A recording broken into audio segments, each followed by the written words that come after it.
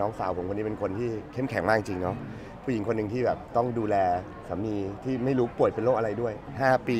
เลี้ยงลูกอีก 3 คนด้วยดูแลก็ก็ก็ไปกอดน้องก็ร้องไห้แหละฮะเขาก็เขาบอกเออเขาบอกก็มีช่วงบางช่วงที่เขารู้สึกว่าเวลาอยู่คนเดียวมันก็ต้องมีอ่อนแอบ้างเขาก็รู้สึกว่าร้องไห้แล้วว่าเออไม่เป็นไรหรอกเป็นธรรมชาติเราต้องเสียใจอยู่แล้วเป็นเรื่องปกติ หลานก็เดินมาบอกว่าเนี่ยหนูอยากเป็นเป็น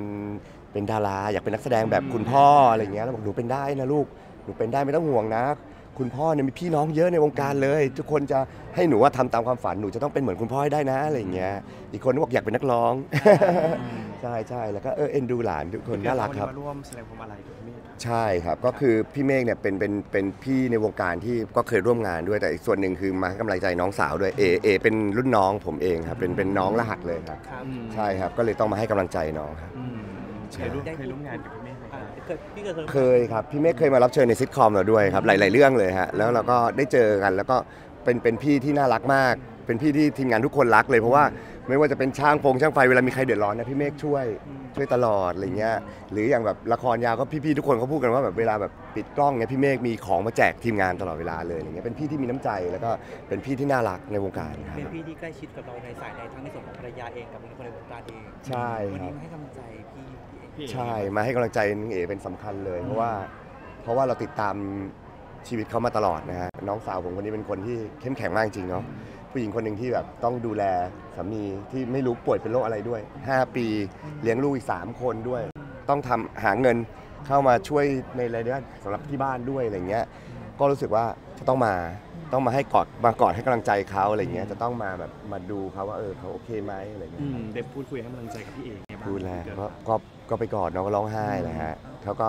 เขาบอกเออเขาบอกก็มีช่วงบางช่วงที่เขารู้สึกว่าเวลาอยู่คนเดียวมันก็ต้องมีอ่อนแอบ้างเขาก็รู้สึกว่าร้องไห้แล้วว่าเออ ไม่เป็นไรหรอกเป็นธรรมชาติเราต้องเสียใจอยู่แล้วเป็นเรื่องปกติ แต่ว่าเราต้องต้องรีบฟื้นกลับมาจากความโศกเศร้าให้ไวเพราะว่าอย่างน้อยเลยมีหลานอีก 3 คนนะมีน้องน้องมีลูกอีก 3 คนอะไรเงี้ยก็บอกว่าเด็กๆเขาก็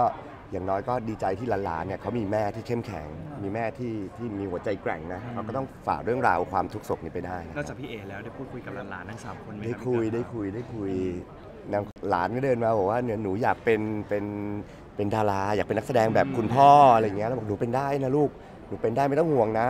คุณพ่อเนี่ยมีพี่น้องเยอะในวงการเลย ทุกคนจะให้หนูว่าทำตามความฝันหนูจะต้องเป็นเหมือนคุณพ่อให้ได้นะอะไรเงี้ยอีกคนก็บอกอยากเป็นนักร้อง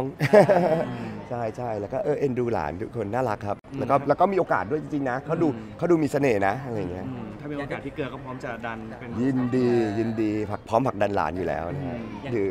ครับครับอยากอยากได้จุดทุกไหว้บอกพี่ได้บบออกกว่ายังไงคบ้างรับบอกพี่เมฆบอกว่าเออพี่เมฆแบบหมดทุกข์หมดโศกแล้วนะอะไรเงี้ยไม่ต้องทุกข์ทรมานอีกต่อไปแล้วนะครับ ก็อยากให้พี่เมฆเนี่ย ไปสู่ภพภูมิที่ดี แล้วก็เอ๋เนี่ยเป็นคนที่เข้มแข็งอยู่แล้ว ฉะนั้นแบบเชื่อว่าเขาจะต้องเลี้ยงหลานๆออกมาเนี่ยได้อย่างเป็นเด็กดีฉะนั้นพี่เมฆไม่ต้องเป็นห่วง ขอให้พี่เมฆไปสู่ภพภูมิที่ดีเลยอะไรเงี้ยครับก็บอกพี่เมฆให้เขาให้เขาไม่ต้องห่วงอะไรแล้ว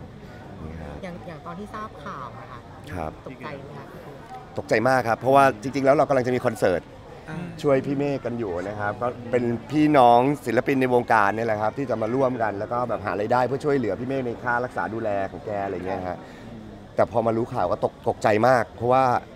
คอนเสิร์ตกำลังจะมีอีกไม่กี่วันนี้เองอะไรเงี้ยครับแต่ว่าแต่ว่าก็ถามทางคณะจัดงานว่าคอนเสิร์ตจะเป็นยังไงเขาบอกว่าเราจะยังจัดต่อไป เพราะว่าอย่างน้อยเนี่ยรายได้ทั้งหมดที่ได้จากคอนเสิร์ตครั้งนี้นะครับเราก็จะมอบให้น้องเอ๋เลยครับเพื่อให้เขาเป็นทุนต่อไปในการใช้ชีวิต เพื่อให้หลานๆอีกสามคนด้วยอะไรเงี้ยครับอืมแต่คอนเสิร์ตก็ยังเกิดขึ้นยังเกิดขึ้นครับแล้วก็มีพี่น้องศิลปินแบบโอ้โหเยอะมากเลยครับแล้วทุกคนก็มาด้วยใจจริง ๆ มาเพื่อแบบมาช่วย อยากให้พี่เมฆแบบว่าเออเป็นกำลังใจให้กับพี่เมฆครับ โอเคครับ ได้ครับ ขอบคุณทุกคนนะครับ ขอบคุณทุกคนนะครับเดี๋ยว